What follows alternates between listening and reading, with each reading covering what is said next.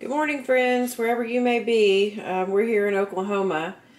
Um, it's a little bit cloudy today. It's supposed to rain. But um, anyway, I'm going to make some SOS today. And I'm going to use this shelf-stable milk that I had that I bought. Um, I'm, I just realized that I'm out of milk and I try to avoid going to the store at all costs. But uh, this is why I kind of keep things on hand. This is a quart of whole milk. And I think I paid a dollar for it. So anyway, let's get started. I always start with two tablespoons approximately of bacon grease that I keep in the refrigerator. I know back in the day, I believe, you know, they just left it on the counter. And I'm sure they, you know, they use sausage grease, bacon grease, what have you. But I'll let that melt and then I'm going to add two tablespoons of all-purpose flour. Okay, so I melted that on medium heat. It's melted.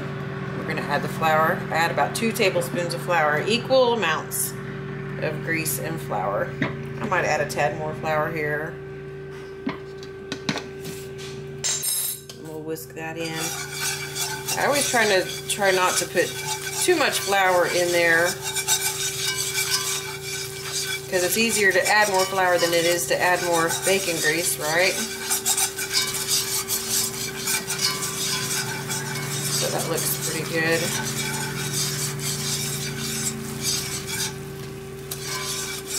Now I've turned it down to low. My stove is gets pretty hot. My burner does.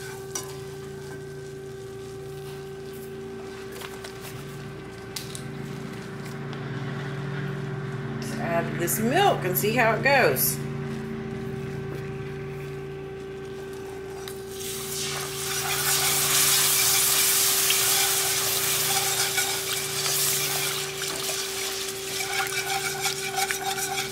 The name of the game with gravy is stir, stir, stir. It's looking good so far. I've made this with powdered sugar when I was out of milk haven't made it with this carton style milk. But you know, it's always good to be prepared. It's always good to have things on the shelf for emergencies. I was always taught to buy toilet paper whether you need it or not if you're at the store. That sounds funny, but you know, if you have an extra dollar, buy an extra can of peas. It'll add up, really, before you know it. You'll have a pantry full of canned goods. It's just always a good idea to have things on your shelf for emergencies. I don't know about you, but I've always loved SOS. Mommy used to make it. I mean, we used to eat it for dinner. Now I have that on low heat. I'm going to crank it up just a little bit to medium, see? Get it to thicken up a little bit.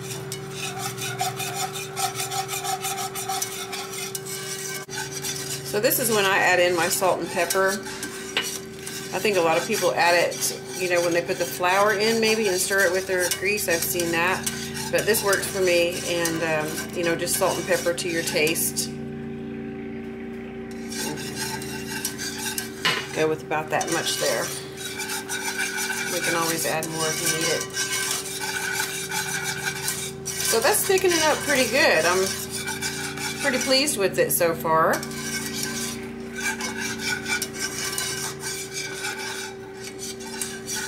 Okay, I'm about to add my dried beef, which will be the chip beef in your gravy.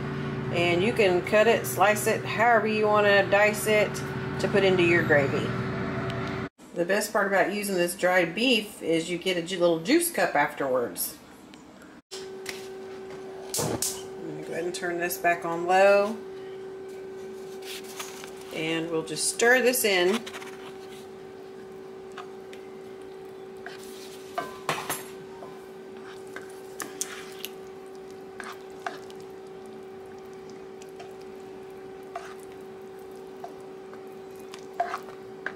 Looking good. Now I've added almost that whole quart of milk. I just kind of add it as I go along. Um, I added that chip beef in there and it seemed a little thick. I just added a little bit more milk to it. Like I said, I have probably have about oh, a few tablespoons left of that milk. I might add it in there. Once I turn it off and it sits for a minute, it'll probably thicken up some more and I can add the last three tablespoons in there to freshen it. I say that because husband's outside mowing and it'll sit here probably for a minute before he gets a plate. So, anyway, that's almost a whole quart of milk there. Two tablespoons of bacon grease or whatever you choose to use. Shortening, I'm sure you can use butter. And then two tablespoons of all-purpose flour. Whisk that together. Start adding your milk and keep stirring, stirring, stirring. Add your salt and pepper. And then your dried beef, also known as chip beef. And that makes your SOS. I've got the toast over there toasting. It's going to be good. So good, y'all. Um, everybody's eaten but me. Everybody said it was excellent. That shelf-stable milk tastes just the same, you know, if not better than regular refrigerated whole milk.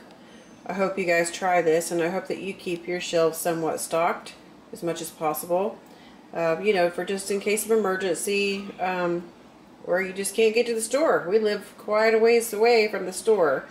And uh, so just try to keep things on hand if you can. It sure is worth it. Anyway, thanks for watching, and I hope you subscribe. Have a good day.